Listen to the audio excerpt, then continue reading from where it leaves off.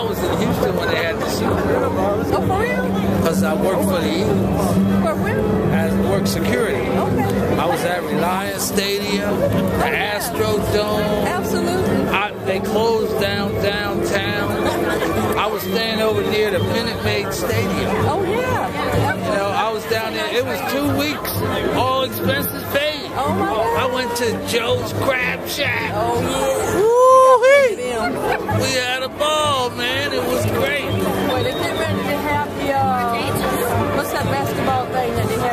Every ABA All All Star. Star. Yeah. Oh, I love Houston. Come back. I would love to. I came back a couple times after after that. Oh, You know, Houston is good. I I I, I met two ladies from Houston. Oh, for real, got your two girlfriends out there. Two of them, but I don't know. I, I lost, you know, my phone. They, they, uh-huh. somebody stole my